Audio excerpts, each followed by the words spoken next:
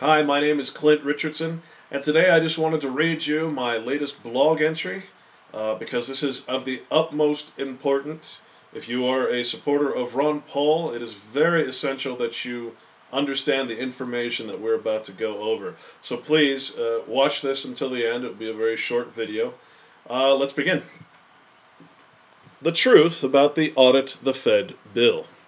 I've had an amazing look into the paradigm of institutionalization ever since I began speaking negatively about the actions of Congressman Ron Paul.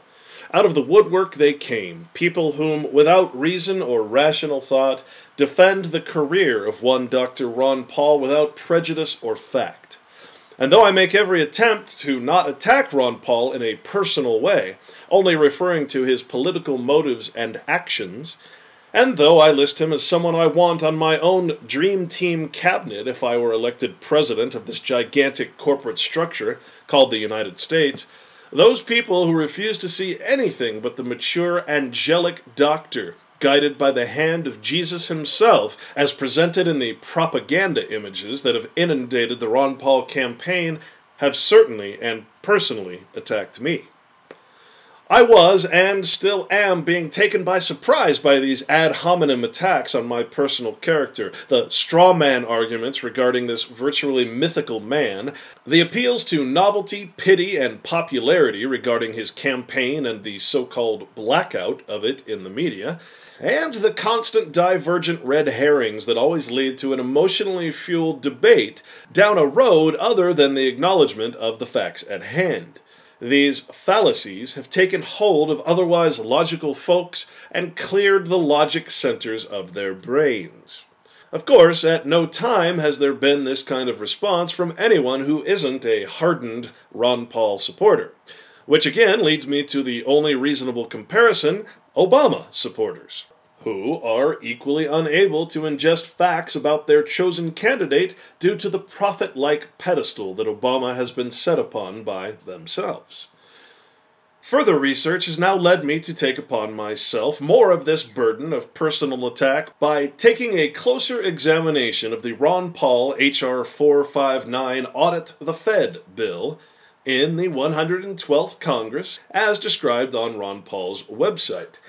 Now, interesting to note here is that according to Ron Paul's congressional.gov website, the official government website of Ron Paul, this bill's predecessor states that H.R. 1207 garnered broad bipartisan support with 320 co sponsors in the 111th Congress in 2010 and was attached but removed in conference as an amendment to the Dodd Frank Financial Reform Bill. If you're at my blog, you can see the listed source for this information. This is especially confounding to me, as this would have meant that this Audit the Fed bill had enough votes through its co sponsors, 320 of them, to pass in Congress as its own freestanding bill among the 435 Congresspeople that would have voted on this bill. A simple majority of 218 votes would have passed this bill. And so the question of why this perfectly stable bill was attached to another bill as an amendment to that bill, where it could then be swatted away like a pesky fly, comes into question. What did Congressman Paul have to say about this on the same .gov website? Quote, I was very pleased that so many of my colleagues were willing to stand up for transparency and accountability in government by co-sponsoring H.R. 1207 in the last Congress. I am optimistic about our prospects for a full and complete audit in the 112th Congress, stated Congressman Paul. Unquote. In short, this was a colossal fail on the part of Ron Paul, allowing this bill to be arbitrarily removed from the law books by allowing it to be transformed into an amendment instead of an actual bill. Whether or not this was a purposeful and preconceived failure is a question that I am not qualified to answer. But I will state that I believe this to be highly suspicious behavior for a bill that would otherwise be a sure thing. It is also interesting to note that Ron Paul has sponsored another bill for this year's session, H.R. 1496, the Federal Reserve Transparency Act in the 112th Congress for 2011 2012. Though this bill is identical to H.R. 459, the current Audit the Fed bill in the 112th Congress, except for the last paragraph, this bill has no co sponsors whatsoever. What is more important to understand, though, is this statement, which is the description of the bill and what it strives to accomplish. Quote, to amend Title 31 United States Code to reform the manner in which the Board of Governors of the Federal Reserve System is audited by the Comptroller General of the United States and the manner in which such audits are reported, and for other purposes. Unquote. Once again, the source for this bill is listed on my blog. But sometimes we miss the most important things when we read them. Here it states the Board of Governors of the Federal Reserve System is audited. This tells us that the board is already, in fact, audited. It also states that the goal of this bill is to, quote, reform the manner in which, unquote, that already existing audit is reported to Congress. It's very important to understand here that this bill does not create a new audit but is referring to the already existing audit. In fact, the Federal Reserve Act, which is of course codified into U.S. Federal Code 12 U.S.C. 225b, states clearly that this audit already exists. It states under Section B, Congressional Report. The board shall, concurrent with each semi-annual hearing required by this section, submit a written report to the Committee on Banking, Housing, and Urban Affairs of the Senate and to the Committee on Banking and Financial Services of the House of Representatives, containing a discussion of the conduct of monetary policy and economic developments and prospects for the future, taking into account past and prospective developments in employment, unemployment, production, investment, real income, productivity, exchange rates, international trade and payments, and prices. And then subsection C states public access to information. The board shall place on its home internet website a link entitled Audit which shall link to a web page that shall serve as a repository of information made available to the public for a reasonable period of time, not less than six months following the date of release of the relevant information, including 1. The reports prepared by the Comptroller General under Section 714 of Title 31, United States Code, and it's important to note here that that is what is specifically altered by the Audit the Fed bills that are in the Congress and the Senate. This is the only thing that is amended by the Audit the Fed bills, Section 714 of Title 31, which only refers to the rules and regulations of the Comptroller General. Again, it does not in any way create an audit of the Fed. Number two, and most importantly, is the annual financial statements prepared by an independent auditor for the board, in accordance with Section 11B. Now, once again, note that this is the comprehensive annual financial report, which is the actual audit of the Federal Reserve. The CAFR in all instances throughout the government structure, all 230,000 governments around the country, all must be audited and report that audit in the comprehensive annual financial report. Again, the CAFR is the audit of the Federal Reserve, and the Audit the Fed bill does not create in any way a new audit. And so we can see that the Comprehensive Annual Financial Report, which is the over 500 page audit of the Federal Reserve, is readily available to the public for its consumption.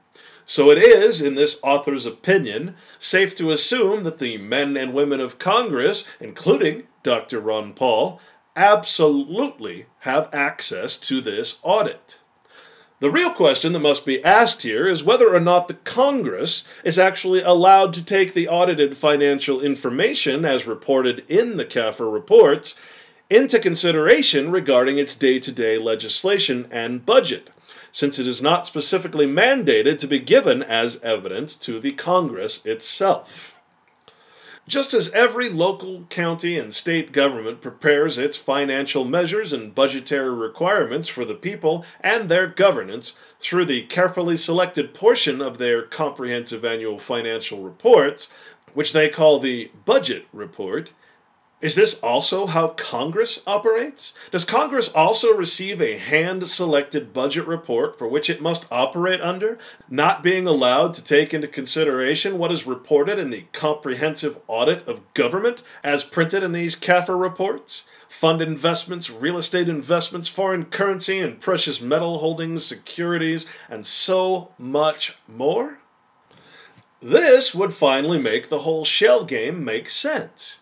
If the Congress is not allowed to take the CAFR, or the audit, into consideration, and indeed only legislates through a limited and hand selected budget report that excludes the majority of liquid assets held by the federal government and funneled out of the taxpayer base into thousands of various investment funds and portfolios, then we can finally understand why our Congress can never create a balanced budget. And perhaps we can then begin to understand why Congressman Ron Paul does not talk about the comprehensive annual financial report for government and its Federal Reserve Bank in any public forums, including within the halls of Congress. But more importantly, when it comes to Ron Paul, we must take a closer look at HB 459, which reveals a startling conclusion. This bill does not create an audit of the Federal Reserve. The audit already exists according to the writing of HB 459 itself, as well as its Senate counterpart, Senate Bill 202, sponsored by who else but Ron Paul's son, Rand Paul, who was recently elected to the Senate. In fact, the bill only refers to the Comptroller General under U.S. Code, deleting only a few restrictions for what the Comptroller General may audit from the Federal Reserve. This in no way creates a new audit or changes the current audit or the CAFR. Amazingly, while these cuts are not bad things by any means, the main action paragraph in HB 459 states the following Paragraph C repeal of certain limitations. Subsection B of Section 714 of Title 31 United States Code is amended by striking all after in writing.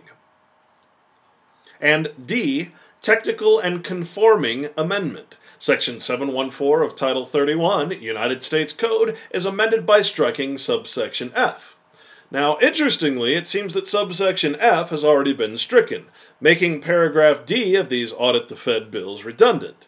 However, in Ron Paul's new bill, HB 1496, the one with no co sponsors, this problem is addressed. And you can read that section by going to the link listed in the blog.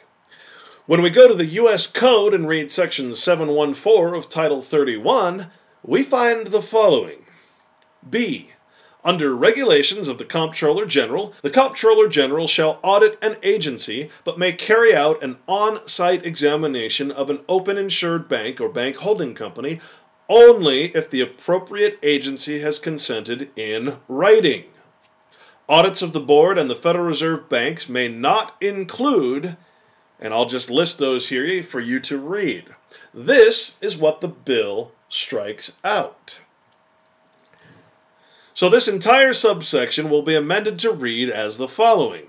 Under regulations of the Comptroller General, the Comptroller General shall audit an agency, but may carry out an on-site examination of an open insured bank or bank holding company only if the appropriate agency has consented in writing.